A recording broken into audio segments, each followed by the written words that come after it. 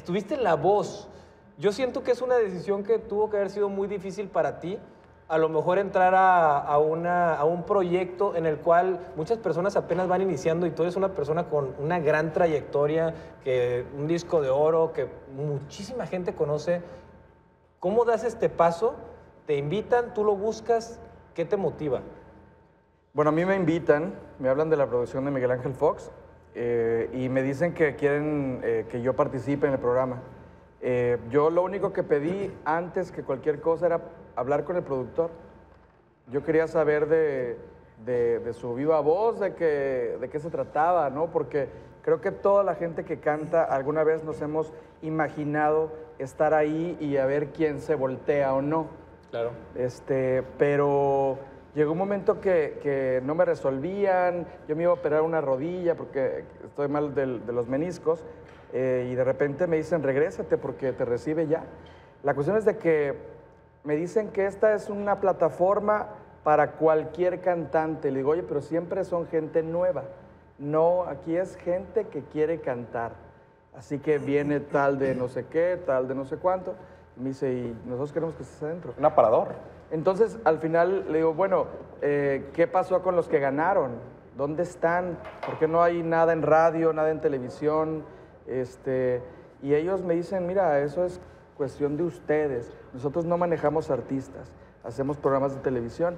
Entro a participar al, programa y me encuentro con que era el último eh, en audicionar, era el último espacio que quedaba y solamente le quedaba un lugar a Gloria. Entonces, eh, a pesar, bueno, tengo mucha experiencia, eh, muchos años, pero esto es diferente. Esto es cuestionar si realmente tienes talento o no en base a los gustos de los que están en la silla. Claro. Entonces, al final, corrí con mucha suerte de que, de que Gloria se diera la vuelta, ¿no? Posteriormente te roba J Balvin.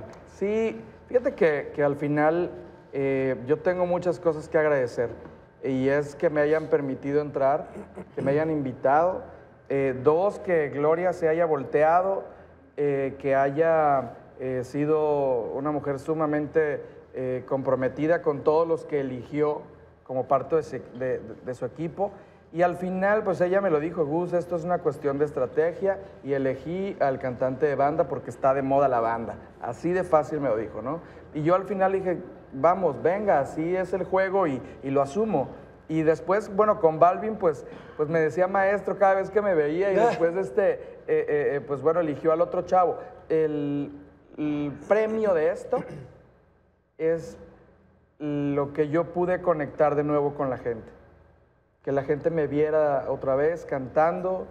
Ellos eran los que opinaban y los que decían que, No, y- que había en el escenario. Y como bien lo comentas, dices, a fin de cuentas es el gusto independiente o particular de los jueces. Por ejemplo, han desfilado varios jueces, me tocó ver, a- a- por ejemplo, estaba Julián Álvarez, fue Julián, Sí. eh, o Ricky Martin, que decías tú, no se va a voltear, no se va a voltear, y terminó volteándose. Claro. Claro, hay, hay cosas que son ex- eh, que no te las puedes creer, ¿no?